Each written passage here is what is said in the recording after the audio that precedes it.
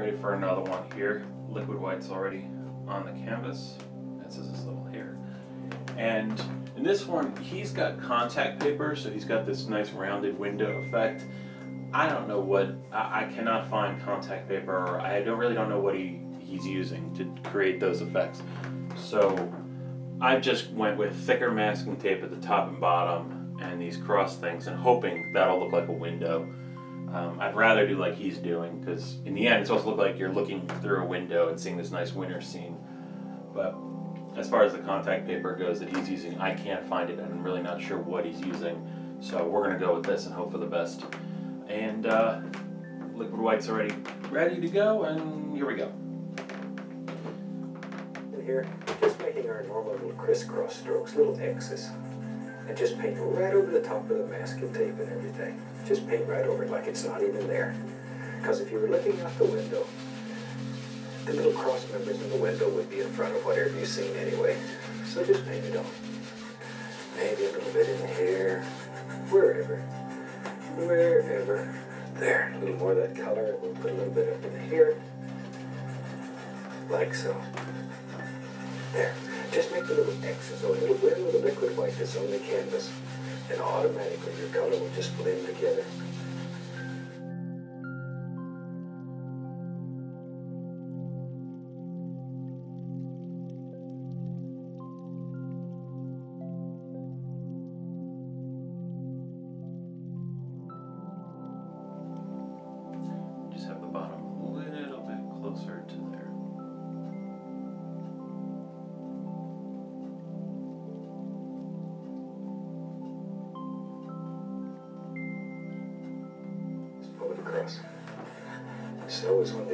Things to in this technique. There we are. There we are. That's simple. Or two inch brush will do it in a heartbeat. Okay, that's an outstanding limbs in here.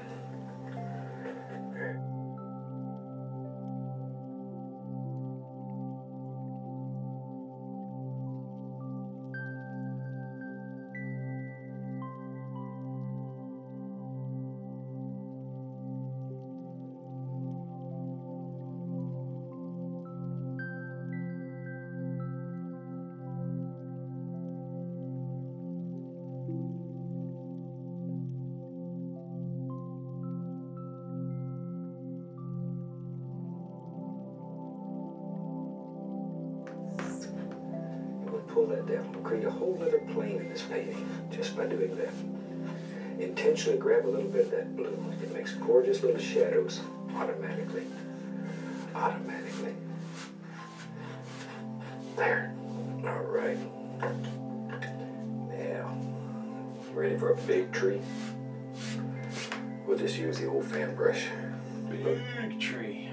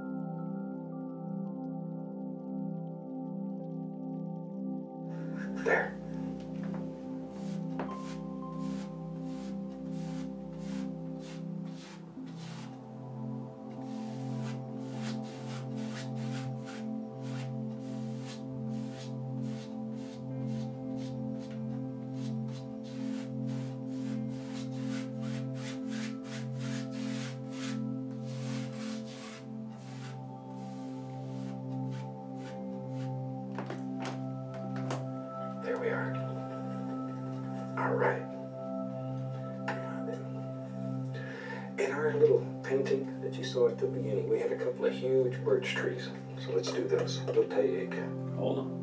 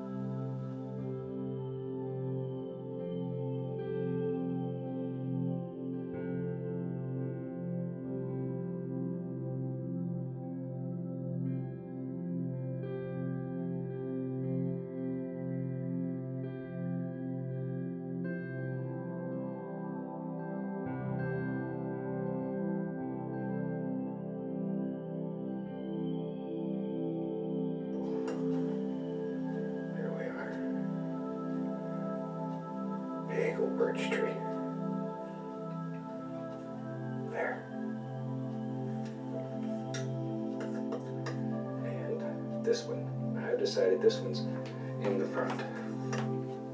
So we'll do him last. Always do the thing that in your mind is the farthest away. And then work forward, forward, forward.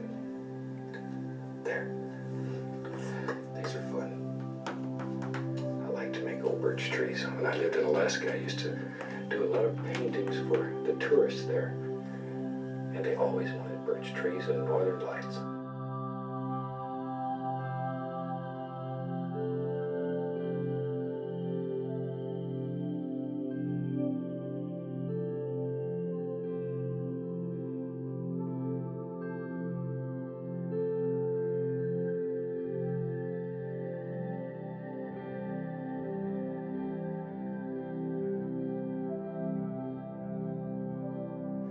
Trouble making it flow, add a little more paint there.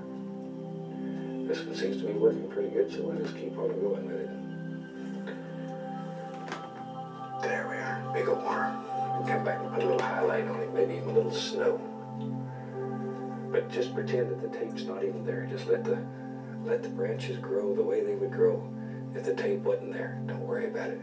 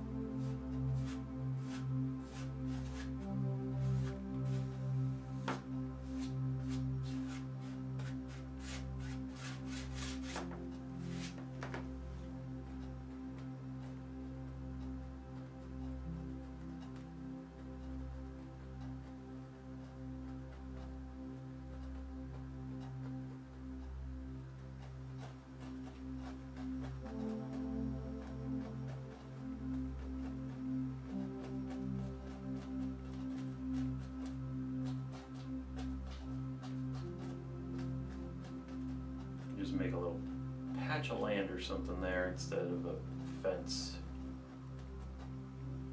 Get some white.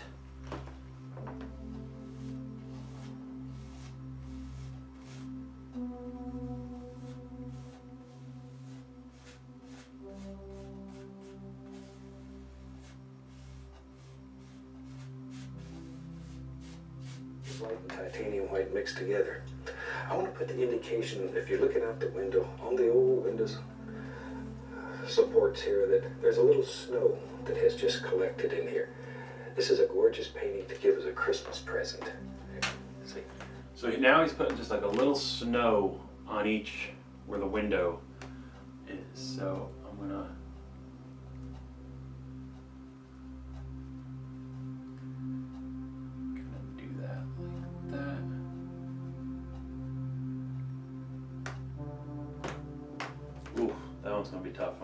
Straight up liquid white to do that. Here. I gotta go right over that tree. Oi! Alright, hang on, gather on each little part of the window. A little bit gathered right there.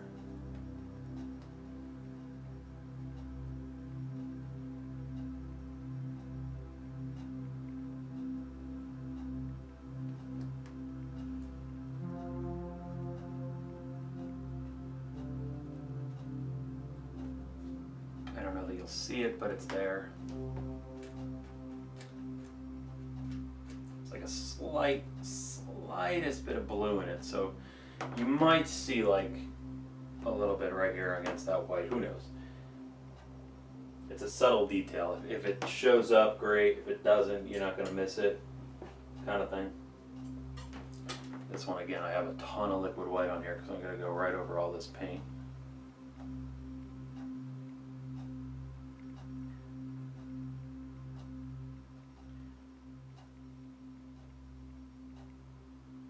And a little touch of dark sienna. Little white, little dark sienna. Cut off a little roll of paint. Let's go right up in here. And let's just, let's highlight this so it stands out a little bit more. Oh yeah, that's much better. Sort of rest in there. We want it to pop out. That's what makes it interesting. If you try this painting, take time and do a photograph and send us. I would love to see what you're doing and and every so often we put them together and put them on a little board and we show them on TV so you can see what people all over the country are doing with this. And there's okay, we're about to get this little level thing. All right, so he's about done. So I'm, he just peels the stuff off now. So let me shut that off. Now, moment of truth. The problem is that this tape is all tucked behind where it locks. So the side ones are on top. So let's. Oh boy.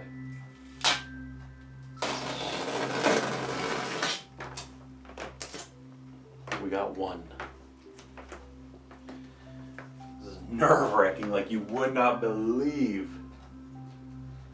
So like his is easy. He had everything positioned great to just peel it off, but I was afraid of it coming loose, so I tucked it back behind everything. So,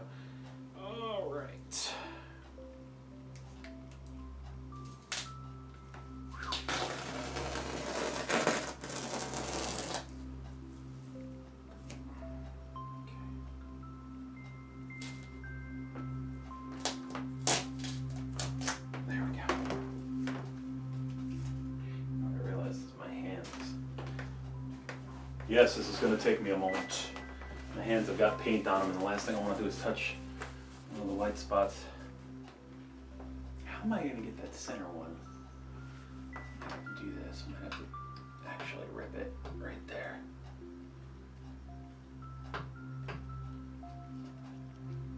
Suspense is terrible. Hope it'll last.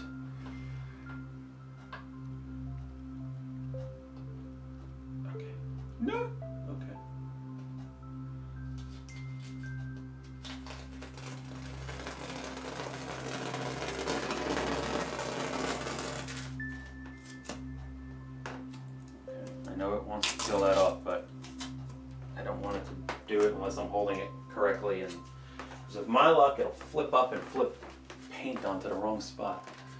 All right, let's go with this edge one because that's on top of everything else.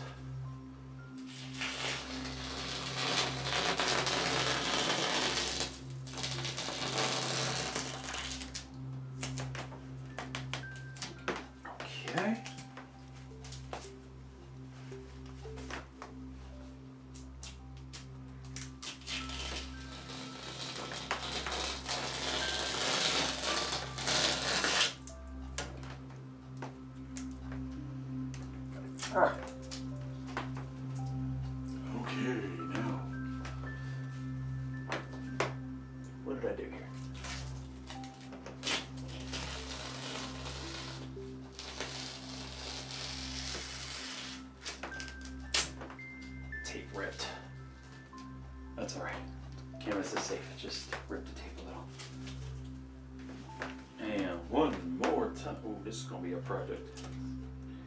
Come on. It's like right behind this piece of wood. There it is.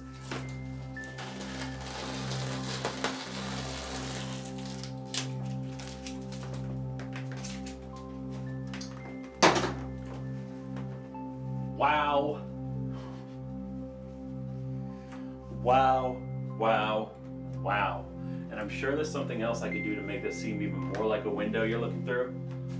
Know, put very like just like a dark frame or something or whatever. But this is so cool. This effect is so cool. I just wow. I just love the way this came out. Very happy with this. Very happy. I love playing with the masking tape and doing all these things. Let me get a shot of this. I'm very happy with the way this came out.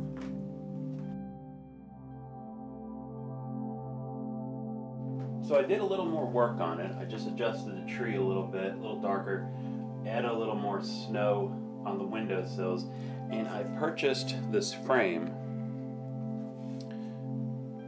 This it's got kind of a whitewashed look to hopefully complete the window look. So I'm gonna pop that in and see what this looks like.